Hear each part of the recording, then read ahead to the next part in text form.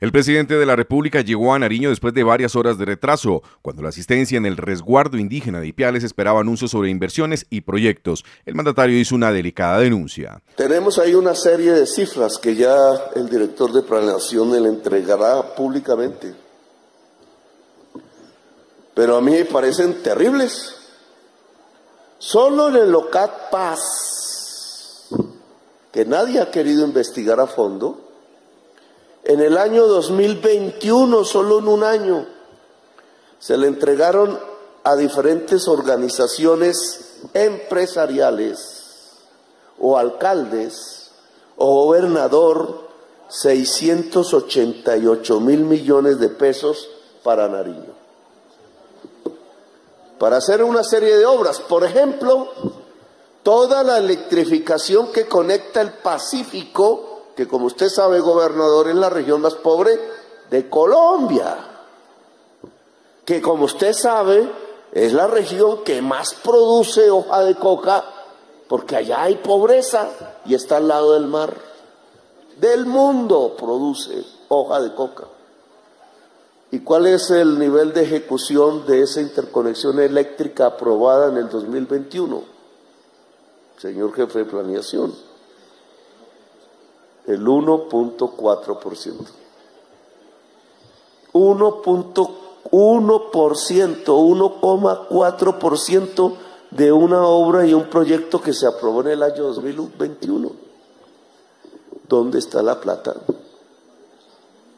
Y si esa misma y si ese mismo proyecto entonces yo miro en el otro, ¿cuál fue el que vimos?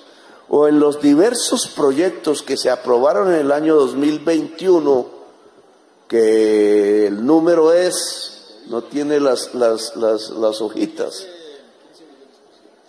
En el año 2021 se aprobaron el mayor número de proyectos de OCAT Paz de su historia, que comienza con el acuerdo de paz. El mayor número y la mayor cantidad de dinero, 4.5 billones para las regiones que llaman PEDEC, de las cuales en Nariño la mitad de Nariño lo es. El presidente le solicitó al director de Planeación Nacional contratar una auditoría forense para conocer el destino de los recursos asignados en el 2021 y pidió ejercicio de veeduría para los recursos asignados en los años siguientes en el OCAT Paz y el Sistema General de Regalías. El territorio de Colombia, las regiones pobres, que deberían al menos ser menos pobres que cuando comenzaron estos programas. ¿Qué pasó con el dinero? Estamos hablando de decenas de billones aquí nomás, casi 100 billones de pesos. ¿Dónde están las carreteras? ¿Dónde están los acueductos? ¿Dónde están los hospitales? ¿Dónde están los circuitos eléctricos? ¿Dónde están las escuelas? ¿Dónde están las universidades? Ustedes vienen aquí y me presentan una agenda donde me dicen necesitamos escuelas, universidades, carreteras, y entonces toda esa plata, ¿dónde fue a parar? Tenemos un grave problema, porque el segundo punto del acuerdo de paz con las FARC, que era transformar el territorio, la plata se la llevaron a las zonas más ricas y o se la robaron. Por eso yo quiero, director de planeación, que usted contrate una auditoría forense, valga lo que valga, sobre las inversiones en infraestructura solicitadas por todos los sectores políticos, gremiales, sociales e indígenas, dijo que las decisiones deberán tomarlas las comunidades del territorio.